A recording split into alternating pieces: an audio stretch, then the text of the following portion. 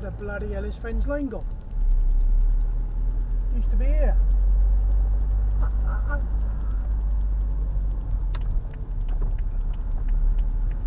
Someone's nicked Lane, where is it?